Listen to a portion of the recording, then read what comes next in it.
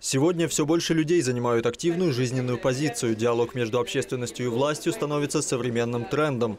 Для этого руководство района создает информационные площадки в виде гражданских форумов, общественных советов и других организаций. Ежемесячно проходят семинары-встречи главы района Олега Хромова с жителями. Это не просто ответы на вопросы, это еще и некое обучение жителей – потому э, грамотности, грамотности в каком плане? В, э, в политическом, в законном. То есть э, важно знать законы и важно э, знать, куда идти. В скором времени пройдет семинар на тему меры социальной поддержки граждан, а в марте состоялся муниципальный форум «Управдом», в ходе которого обсуждались вопросы взаимодействия собственников жилых помещений с управляющими компаниями.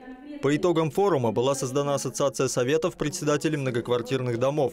Большую роль в жизни района занимает и общественная палата, которая стала связующим звеном между руководством муниципалитета и жителями еженедельно э, в помещении э, МФЦ проходят приемы граждан э, где члены общественной палаты, это юристы, психологи, могут, медики, могут поговорить, объяснить, рассказать какие-то моменты. За последний год были проведены два гражданских форума. За тематическими круглыми столами представители администрации вели диалоги с инициативными группами. Наши жители а, в большинстве случаев а, они э, не смотрят, не сидят в соцсетях.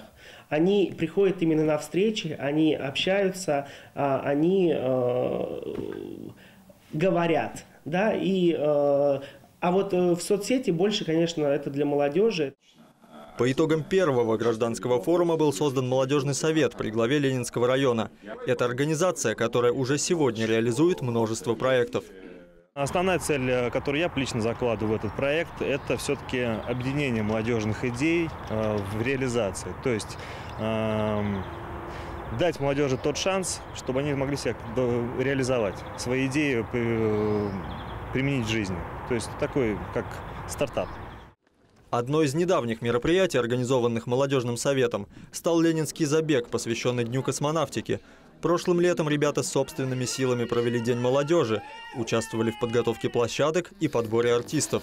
В марте прошел молодежный выездной форум по делу, по итогам работы которого в Видном, Горках Ленинских, Молокове и Развилке были созданы территориальные советы молодежи. Формат прямого диалога с помощью тем более современных э, всяких различных э, коммуникаций, интернет, мессенджеров, электронных почт, э, сайтов, он позволяет напрямую донести вышестоящему руководству свои проблемы, пожелания, предложения. Поэтому я считаю, что открытая власть должна быть, и у нас я вижу, что она действительно открыта. Таким образом, вероятность того, что голос народа действительно будет услышан, повышается. А это именно то, что является одним из запросов современного гражданского общества. Дмитрий Книга, Евгений Петров, Анастасия Нурхонова, Видное ТВ.